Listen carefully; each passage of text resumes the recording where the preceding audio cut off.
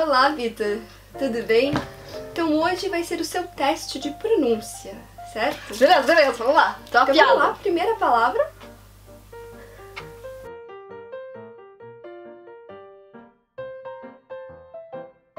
Essa daí é amar, né, em português. Hum, Amei. Não, exatamente, não. Não? Então, essa palavra aqui você confundiu com o verbo amar, mas ela é a palavra amargo, é um substantivo. Então, em alguns substantivos a gente diz sim o R final em Ah, francês. tá, então, beleza, beleza. Então amer. essa daí não fala, não fala. Então a próxima, a próxima.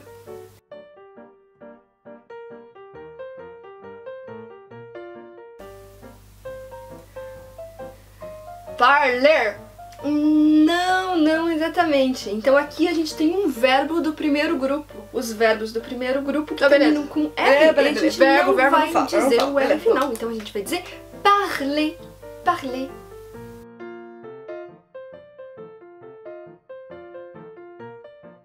Próxima palavra é essa.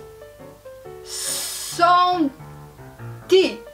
Na verdade, não. Puta, essa fala. Essa é um verbo, só que ele não é do primeiro grupo. Então a gente vai pronunciar o R. Sentir. Tá, não, beleza, beleza, beleza, beleza. Próximo, próximo eu vou acertar.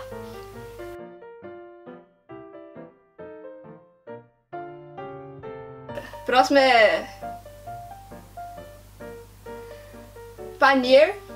Não, essa daqui é um exemplo então de substantivo que a gente não vai dizer o som do R final, a gente vai dizer panier, un panier.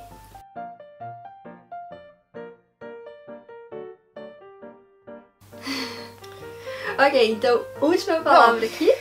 Essa daí Pra eu acho que é bonjour. Jour. Isso! Mas agora também já não sei mais nada, né? É isso mesmo. Eu acertei! Eu acertei! Bonjour, a gente pronuncia o R. Bonjour.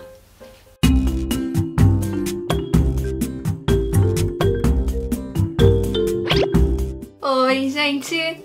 Tudo bem com vocês?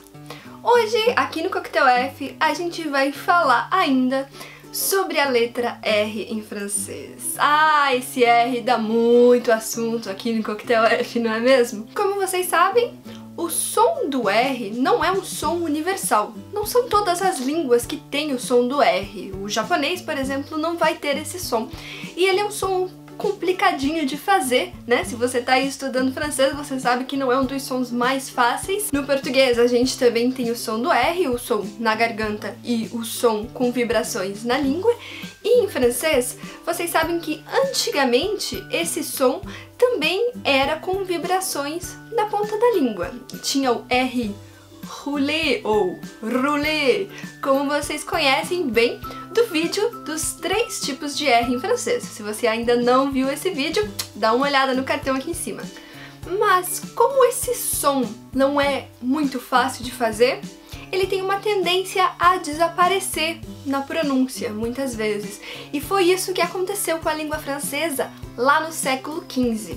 No século XV, o R final foi perdendo a força até desaparecer do final das palavras. Como a gente tem algumas palavras hoje que a gente não pronuncia o R, lá no século XV esse fenômeno começou. Isso aconteceu principalmente em verbos, no infinitivo dos verbos, ou em substantivos e adjetivos também. Então as palavras que a gente usava mais, o R desapareceu. Mas isso lá no século XV.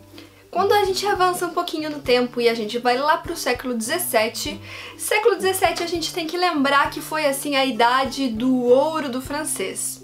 Porque foi quando o francês começou a se destacar e ele também começou a substituir o latim, que até então era a língua da diplomacia, né? Então o francês tomou esse lugar a partir do século 17. Lá no século 17, todo mundo falava francês. Era a língua dos estudos, era a língua científica.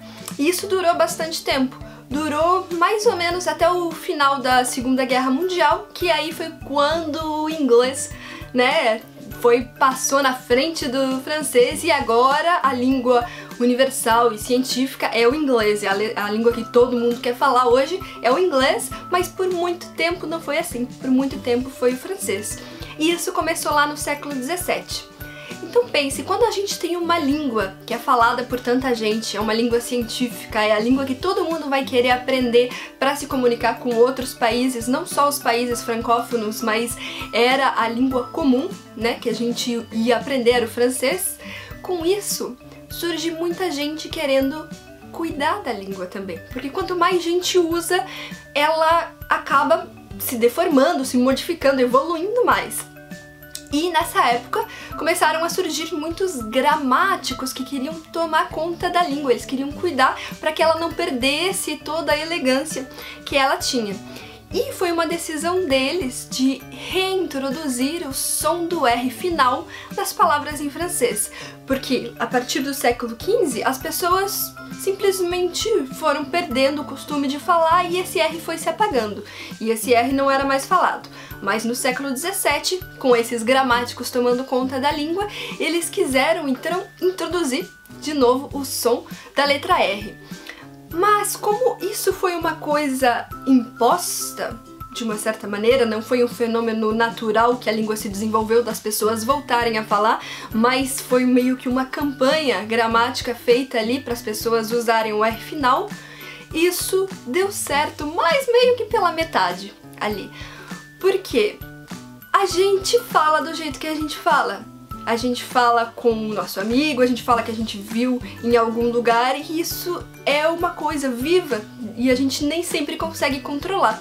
Então, quando os gramáticos tentaram reintroduzir o R, ele funcionou em algumas palavras, mas não em todas.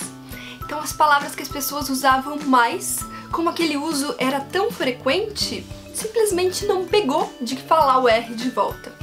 E é o que acontece, por exemplo, com os verbos do primeiro grupo. Os verbos do primeiro grupo, que são os verbos que a gente mais usa em francês, a gente não pronuncia o R final. Porque a gente usa tanto, tanto, tanto que, a gente, que eles não conseguiram né, reintroduzir essa pronúncia.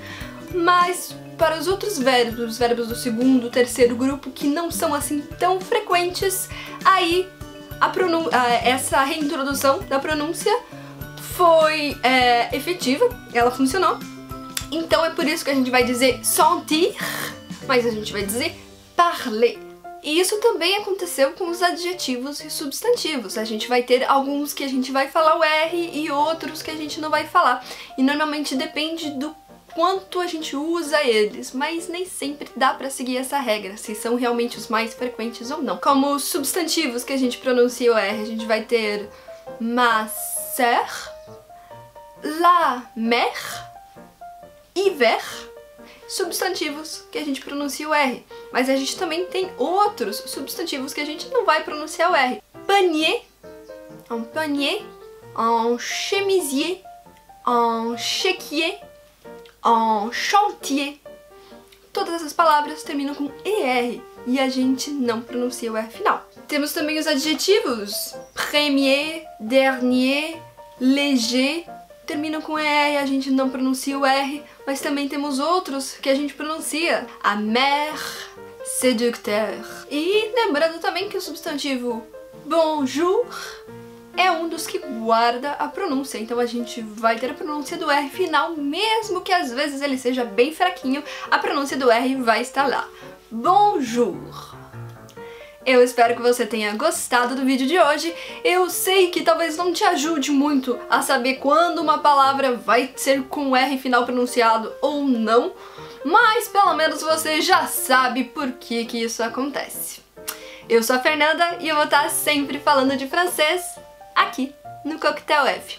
Muito obrigada por ter me acompanhado mais uma vez e se você gostou, não deixe de contar pra mim, certo? Um beijão e até a próxima, pessoal. Tchau!